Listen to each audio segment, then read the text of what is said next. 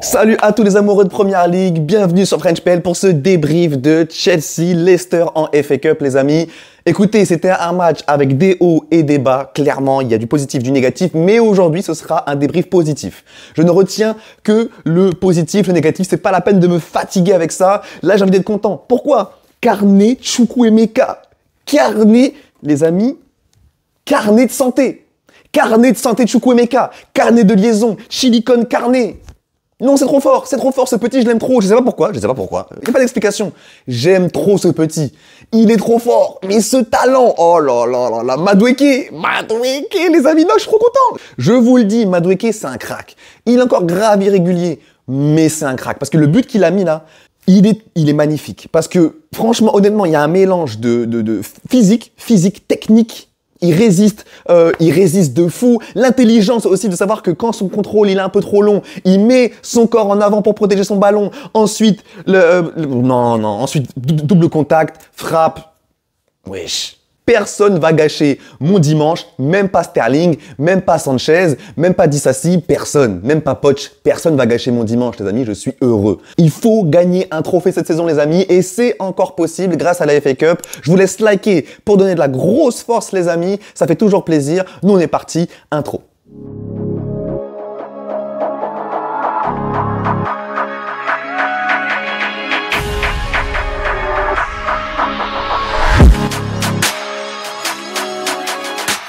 Chelsea s'est fait peur aujourd'hui, les amis, ça c'est clair et net. Un match qu'on aurait dû, mais honnêtement, quand je vois la prestation, l'adversité que nous a offert Leicester aujourd'hui, on aurait dû les tartiner. Mais les d'une force incroyable. Déjà, donc il y a eu le penalty manqué de Sterling, il y a eu plein d'occasions nettes et tout, etc. On aurait dû les tabasser d'une force inouïe. Mais comme d'habitude, quand Chelsea mène, Chelsea se relâche, les amis. Alors oui, il y a 2-0 et il y a euh, l'erreur de Dissassi. Bon, il va pas faire ça tous les matchs, on est d'accord. Mais quand même, il y a toujours un relâchement. Après, les amis, pendant, pendant 10 minutes, on a laissé le ballon à Leicester, carrément, pour vous dire. Enfin, je veux dire, c'est, je trouve ça incroyable. Je trouve ça incroyable. Malgré tout, bah, après, il y a euh, Mavididi, ça, euh, qui, qui fait un superbe but. Franchement, superbe but. Euh, Sanchez, pour le coup, qui est éclaté, mais il peut, il peut rien faire sur le but, je trouve. C'est vraiment petit filet, euh, hyper bien placé. Mais voilà, ça fait vraiment chier que Chelsea n'ait plus cette âme de tueur, de tueur, les amis, parce que honnêtement, un match comme ça, tu dois te dire, on est à domicile, on n'est pas dans la meilleure des saisons et tout, les fans sont un peu pas contents et tout, on mène 2-0 en face, on n'a rien. Même après le 2-1 de, de, du coup de, de Dissassi là, tu dois te dire mais on va, on doit les tabasser, ça doit finir en 5-1 minimum. En 5-1 minimum, on fait le plein de confiance, les fans sont contents, on a domicile, enfin on doit vraiment les tabasser. Qui reviennent à 2-2, je trouve que c'est vraiment vraiment abusé. Après on a quand même dominé, hein. je suis pas en train de dire que voilà euh, c'était un scandaleux. On a quand même dominé ce match-là. J'ai vu euh, Sport qui disait que le résultat, résultat est trompeur parce qu'en gros Chelsea s'est fait peur et tout. Alors oui, Chelsea s'est fait peur, mais le résultat n'est pas trompeur du tout. Quand tu vois les stats, quand tu vois le match déjà, voilà c'est flagrant, mais quand tu vois les stats aussi, je veux dire, euh, on a archi dominé Leicester. Donc à un moment donné, euh, score trompeur, faut aussi se calmer. Allez, on continue de parler du match, les amis, avec les notes. Il y a beaucoup de choses à dire. Euh, Sanchez, déjà, enfin. Petrovic est un meilleur gardien que Sanchez. Ne fais pas tourner, frère. Ne fais pas tourner. À un moment donné, on, est dans une saison catastrophique où prendre un trophée est euh, primordial et important. C'est pas comme si on était large de ouf, que l'effectif était incroyable et qu'on pouvait se permettre de faire tourner tout. Non, pas du tout. Enfin, vraiment, j'ai l'impression que parce qu'on a recruté Sanchez en tant que numéro 1, on doit le, faire jouer en espérant qu'il soit bon pour pouvoir justifier de le remettre dans le 11. C'est mon, mon ressenti par rapport à ça. Ah ça, pardon, donc dites-moi ce que vous en pensez, parce que honnêtement, ça me vénère. Honnêtement, ça me vénère. Bref, bref. Euh, Dissassi, euh, qui fait plutôt un bon match, son, erreur, c'est une dinguerie. C'est une dinguerie de ouf, honnêtement. Donc euh, c'est pour ça qu'il a 4. Mais je ne tombe pas dessus non plus. Je ne tombe pas dessus non plus. Euh, il aurait pu faire mieux. C'est pas un match non plus euh, ultra maîtrisé de sa part. On a quand même encaissé deux buts. Euh, donc voilà, 1-4. Chaloba, c'était mieux. C'était mieux que, que, que, que Dissassi, mais c'est pas non plus exceptionnel. Donc ce sera un 5 pour lui. Et les amis, bah écoutez, là on a fait la mauvaise partie de la défense. Maintenant on va passer à la bonne partie de la défense. Et c'est évidemment nos latéraux. Nos latéraux, merci. Merci. Et les amis, et là je vais inventer le... On connaît le rapport qualité-prix et je vais inventer le rapport qualité-minute. Pour Kukureya, quand tu euh, vois les minutes qu'a joué Kukureya cette saison et la qualité des minutes qu'il a eu, le ratio il est juste ouf.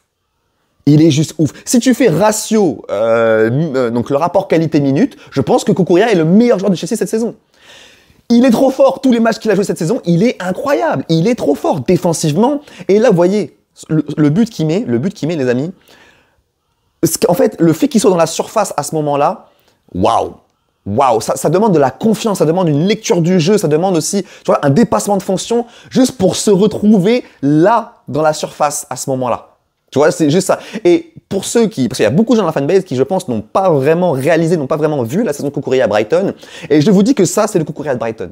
Parce que le Kukurea de Brighton, les amis, c'est un joueur qui est autant euh, impactant offensivement que défensivement. C'est des allers-retours incessants pendant 90 minutes. C'est que ça. Et c'est le joueur de la saison de Brighton il y a deux ans. Et si Kukuria reprend cette confiance-là, c'est un joueur complet. C'est un joueur complet qui, même s'il est petit, regardez, regardez dans le duel aérien comment il est impactant. En fait, c'est un joueur qui, ça, peut être un latéral vraiment, vraiment complet que je n'ai pas envie de voir partir. Que je n'ai pas envie de voir partir. Sauf s'il y a une offre de 60 millions d'euros. Donc, faut faire une plus-value. En fait, ça, si on vend Kukuria, pour moi, faut faire une plus-value par rapport, à, euh, par rapport au prix qu'on l'a acheté. Sinon, il ne faut pas le vendre. Sinon, il ne faut pas le vendre. C'est une concurrence parfaite à Chilwell. C'est vraiment un joueur capable de concurrencer Chilwell et de mettre sur le banc à, terme, tu vois. Je trouve qu'il est vraiment capable de le faire. Euh, quand il est à son niveau, c'est un joueur incroyable. De l'autre côté, on a Gusto qui continue à impressionner. 20 ans, il enchaîne les matchs, il, il répond présent à chaque fois, défensivement, offensivement. Bon, dans ce match-là, il y avait quand même pas mal de gâchis à droite à gauche. On sent qu'il est, il est, il est très facile techniquement et des fois, il, prend un peu la confiance, il fait un peu n'importe quoi. Euh, ça, ça va être avec, l'expérience, ça va venir. Et quand ce joueur-là sera 100% focus, quand il sera un peu plus focus euh, sur, ses matchs, mais il va être juste injouable. Il va juste être injouable. Caicedo qui continue à être très très bon les amis, c'est un 7 pour lui. Euh, complet, encore une fois, un, numéro 6 qui protège bien sa défense pour le coup. Je le sens monter aussi crescendo par rapport à ça. Même euh, avec le ballon, il l'utilise bien aussi. Donc c'est cool. C'est cool vraiment Caicedo qui monte en puissance. Gallagher un peu moins bon euh, sur ce match-là, euh, mais défensivement toujours bien présent. Mais là, ça fait deux matchs d'affilée où avec ballon, je le trouve en difficulté. Donc à voir s'il va réussir à retrouver cette lucidité et cette propreté qu'il a eu depuis le début de saison. Moudric, Franchement, match hyper intéressant. Pas fan du 11 départ de le voir numéro 10 comme ça, parce que je trouve que c'est pas, il a pas les qualités pour être numéro 10 tout simplement. Mais dans, quand Chelsea joue en transition, quand Chelsea contre-attaque, le fait de l'avoir dans le cœur du jeu, c'est intéressant. C'est intéressant parce que du coup, il arrive à très vite se projeter. Euh, il arrive à être euh, à être dynamiteur comme ça, à être dynamiteur. Et même si euh, vous me connaissez en temps normal, je, je vous justifie à chaque fois pourquoi Modric est un joueur qui même quand des fois il est bon sort des matchs, ne fait pas les matchs complets. Parce que c'est un joueur qui, c'est un joueur d'éclat. C'est un joueur d'éclat qui, globalement, n'apporte pas ce qu'il devrait apporter au collectif. Même quand il est bon, même quand il est décisif, euh, dans ses matchs globaux, vraiment dans la globalité de ses matchs, il apporte pas vraiment au collectif. Et c'était pas vrai dans ce match-là. Dans ce match-là, j'ai trouvé beaucoup plus impliqué collectivement. Il a eu beaucoup plus d'éclat, donc ce qui fait que finalement, il a fait vraiment un bon match. Et là, pour le coup, j'ai pas compris sa sortie. Là, pour le coup, il aurait mérité de finir le match. Totalement. Je veux dire, quand il sort, il y a 2-2, je crois. Quand il sort, il y a 2-2. Et globalement, vous me connaissez, pour vous dire à quel point euh, l'objectivité, c'est très important pour moi. Là, je suis à la place de Poch je sors Gallagher et je fais rentrer euh, Chukwemeka. Je fais rentrer Chukwemeka, donc je laisse Cassido devant la défense, et du coup je fais un 4-1-4-1, entre guillemets, tu vois, avec Jackson seul en pointe et Caicedo seul devant la défense. Et je fais une ligne de 4 avec Moudric, Chukwemeka, euh, Palmer et, euh, et Sterling Ouais, du coup, et Sterling, mais du coup, je sors Sterling pour Madueke. Du coup, je mets Chukwuemeka et Palmer derrière l'attaquant, derrière Jackson, et j'aurais mis euh, du Madueke et du, euh, et du Moudric sur les ailes. Je pense que ça aurait été aussi incroyable. Mais en tout cas, Moudric, bon match. Et quand tu vois les performances de Sterling, ça va être très dur, très très dur au prochain match de justifier que tu démarres Sterling devant Moudric. À un moment donné, là, ça y est, là, prochain match, il faut que Moudric démarre. Il faut qu'il démarre. Tu peux pas, tu peux pas justifier que Sterling démarre le prochain match. Impossible. Sterling 3, et comme j'ai dit, je jeûne, c'est Ramadan, donc on va pas trop parler de lui parce que sinon je pourrais euh, voilà, dire des, des, des mots que j'ai pas envie de dire. Parce que sa première mi-temps, elle est juste scandaleuse. En deuxième mi-temps, bah, il, il, fait, il fait beaucoup plus le taf. Il fait beaucoup plus le taf. Sauf sauf son coup franc. Euh, par contre, merci, j'ai tellement ri. Ah mais j'ai ri parce que on sait, ceux qui ont joué au foot, on sait tout ce qu'il a voulu faire. Il a voulu taper fort le ballon mais tu vois, pour qu'il pour qu'il parte vite, mais qui, on, connaît tous, on, on, on comprend ce qu'il a voulu faire. Mais il a touché, il a tapé le ballon beaucoup trop bas, ce qui fait que là, le ballon est juste parti fort en l'air en fait. Et, euh, et d'après nos informations, le ballon est atterri à Craven Cottage. Donc c'est très très grave. C'est très très grave, les amis. Euh, mais voilà, Sterling, ça reste un... sa première mi-temps. Elle est, enfin c'est pas possible. Tu peux, c'est pas possible de sortir cette première mi-temps. là En fait, peu importe ce qu'il aurait pu faire en deuxième, le fait qu'il ait été capable de faire cette première mi-temps là, c'est juste non merci. Juste euh, non merci. Ensuite, on a les deux cracks, Jackson et Palmer. Alors Palmer, match mitigé, enfin, il y a eu quand même 20 minutes en première mi-temps où on n'a pas vu Palmer. On l'a pas vu du tout. En dehors de ça, qu'est-ce qu'il est fort. Mais qu'est-ce qu'il est fort. Il me saoule. Il est trop fort. Il est trop fort. C'est incroyable. Jackson, depuis son retour de la canne, qui es-tu? Qui es-tu?